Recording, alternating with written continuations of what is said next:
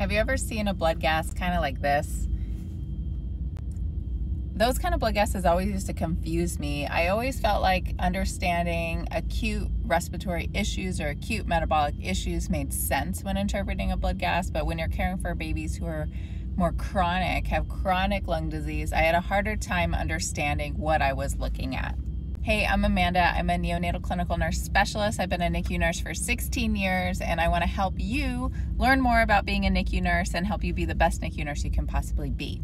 So, what do we see when we have babies with chronic lung disease and we're getting their blood gas? We're interpreting their blood gas. So, you can see that when they have this kind of chronic hypercarbia or this chronic elevated carbon dioxide, because with babies with respiratory distress syndrome, we allow permissive hypercapnia. But with that, you can think about carbon dioxide as an acid, and as an acid, it pulls the pH down.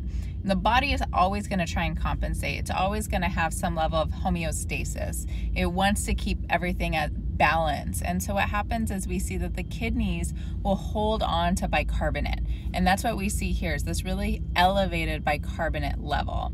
Now, when we have a really high CO2, that's kind of bringing our pH down a little bit, almost to within the normal range. It pulls it down. And then once we improve our ventilation, you see the actual effect of that prolonged retaining of bicarbonate that is happening. That excessive amount of buffer is going to pull our pH up and cause alkalosis. So, what can we do? The other day, I was talking to one of my nurses and she was asking me about Diamox. What is Diamox? What is this type of diuretic and why do we use it? Well, it's for these kind of cases like metabolic alkalosis and babies who are retaining their carbon dioxide for a long time and therefore their bicarbonate is elevated for a long time, putting them in the state of metabolic alkalosis. Let me know if that was helpful. If you want to talk more about different types of diuretics, make sure to follow me for more NICU education.